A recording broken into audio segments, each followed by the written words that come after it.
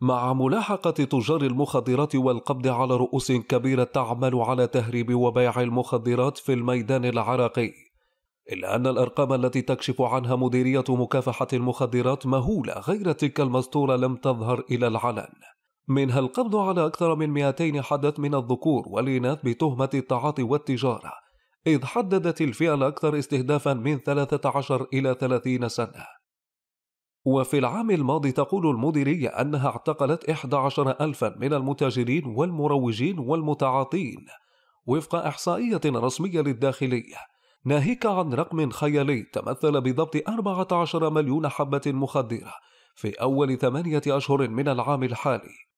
وحديثا كانت المفاجأة بضبط نصف مليون حبة مخدرة سيما بعد إعلان جهاز الأمن الوطني بالقبض على ما يعرف بالطباخ الكريستال. والذي تعلم صناعة المادة في إحدى دول الجوار فنقل التجربة إلى العراق.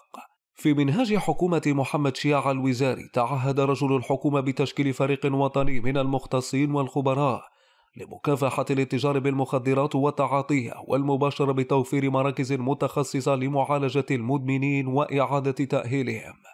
قرئ هدف المنهاج الوزاري على أنه مبدأ لا بد منه كما يقول مختصون وفق ما يجري من شلال ظاهرة متدافعة. نحو الشباب الذين هم عماد المستقبل.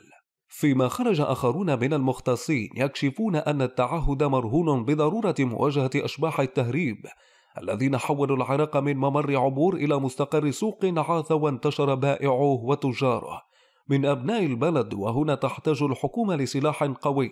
في إيقاف ما يمر من إيران أو سوريا بحسب شهود عيان يوثقون بمقاطع مصورة ما يدخل منها إلى العراق من مخدرات. لكن الحرب الحالية مع الآفة لم تنتهي. وقد وقع عدد كبير من الشباب بين فكي تجارتها وتعاطيها. والكارثة الأشد خطرا على مجتمع يقول المختصون من مفوضية حقوق الإنسان إنها تفكك نسيجه. وإن أكثر تعاطيها هو الكريستال بنسبة 37.3% الأسباب التي تقف وراء تفشي الظاهرة قد تكون مفتاح الانتصار لمنهج الوزاري في جزئية مواجهة المخدرات. إذا عملت عليها فرق الاختصاص أسباب تؤكد أن انتشار المخدرات في العراق. وجد بيئة خصبة لضعف الرقابة الأسرية واستخدام التكنولوجيا الخاطئة وارتفاع معدلات الفقر والبطالة وضعف الوازع الديني. والأهم عدم ضبط المنافذ الحدودية وضعف إجراءات الحكومة في مكافحة الظاهرة. من خلال إنشاء مساحات خاصة لمعالجة مدمني المخدرات رغم أن العراق شرع بعلاج المدمنين أخيرا إلا أن الأرقام التي تعكس الانتشار الجنوني والذي يغذيه الفساد والنفوذ لم يشف غليل المجتمع المتفرج على كارثة بدأت تخطف مستقبل شبابه دون سابق إنذار.